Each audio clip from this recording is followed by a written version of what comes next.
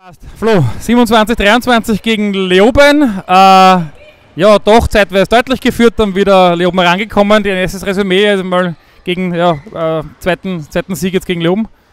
Ja, ich glaube, dass es eine schwierige Partie wird, haben wir vorher gewusst. Ja, das ist kein leichter Gegner, das ist ein guter Aussteiger, die haben routinierte Spieler drinnen mit Damir und mit Anaskovic. Ja. Und ich glaube, dass wir uns aber von der ersten Minute reinkämpft haben in die Partie und das eigentlich ganz gut gelöst haben. Es war eine Kampfpartie, das war ein Arbeitssieg, aber das gehört auch dazu zum Handball. Was war für die vor allem in der zweiten Halbzeit dann ausschlaggebend, dass wir es dann doch noch gedreht haben zu unseren Gunsten mit vier Toren? Ja, ich glaube, dass die Deckung dann in gewissen Phasen sehr gut funktioniert hat und dass der Thomas vorne auch getroffen hat. Und ja, im Endeffekt reicht das dann. Was sagst du ganz bescheiden zu deiner Leistung? Man of the Match heute, tolle Leistung.